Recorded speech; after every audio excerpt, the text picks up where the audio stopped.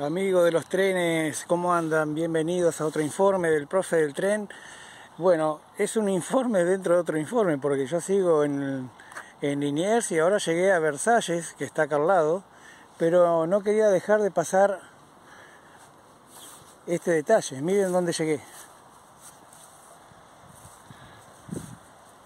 A ver, ahí se, capaz que se ve mejor así, ¿no? Ex estación o parada Versalles damos vuelta de nuevo.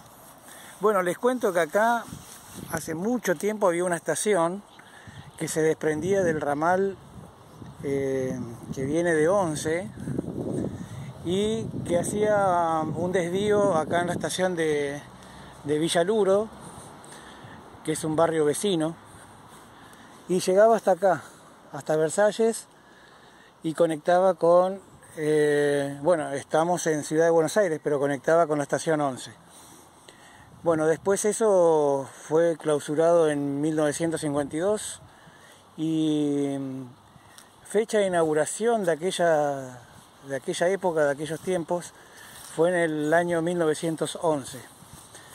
Bueno, vi varios videos respecto a este lugar para encontrarlo, lo encontré y bueno, ahora vamos a hacer contenido de este lugar. No hay mucho para mostrar, solamente quedó el nomenclador que les acabo de mostrar, pero ¿saben qué? Estamos muy cerca, muy cerca del barrio donde se grabó Esperando la carroza, así que seguramente ahora vamos para allá.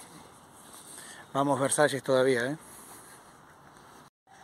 Bueno, yo estoy muy contento, sigo acá en Versalles, barrio lindero con Liniers y con Villaluro. Y les quiero mostrar algo.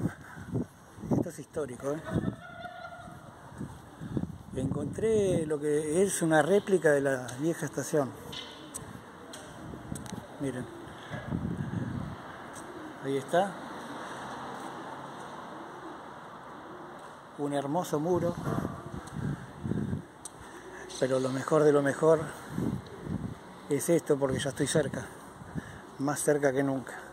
Miren lo que, lo que me encontré acá.